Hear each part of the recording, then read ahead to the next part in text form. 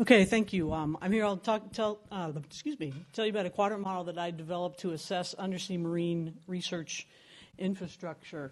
Uh, my interest is in the undersea tools that the federal government provides to marine scientists uh, to collect their data and the factors that influence the success or failure of the programs that provide those tools.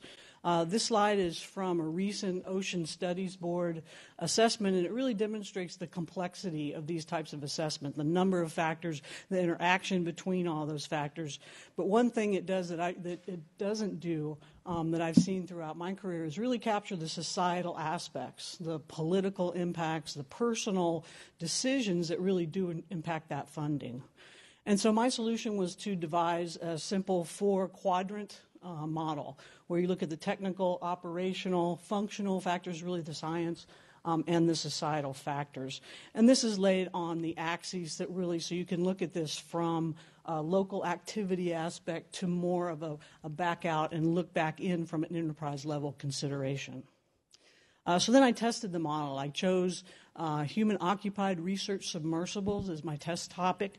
There are four of those operations that have been working in the U.S. since the mid 1980s. Uh, the first task was to identify different factors within each one of those quadrants that I would look into in more detail. And also to come up with a way to illustrate those. So in this chart, you'll see the circles, the size of the circle will illustrate the, the importance of a certain factor, and then the color tells you whether it's, it's positive or negative type of an impact.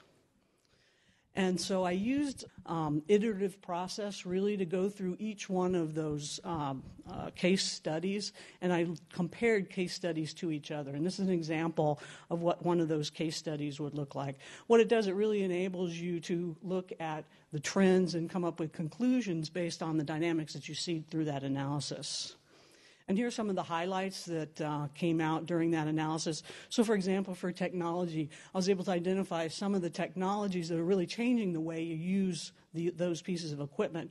The thing that really popped out was the importance of societal impacts. That really popped out as an important thing consistently throughout the studies. So, in conclusion, the, the uh, results of the model it does provide a simple framework uh, that, that enables you to capture the full range of factors and also really manage that complexity. You know, you're able to parse it all out and come up with identifying trends, look at causality, and analyze some of the societal impacts. And it's also useful for a number of different fields. There's an academic analysis, federal program analysis, and consideration operators considerations.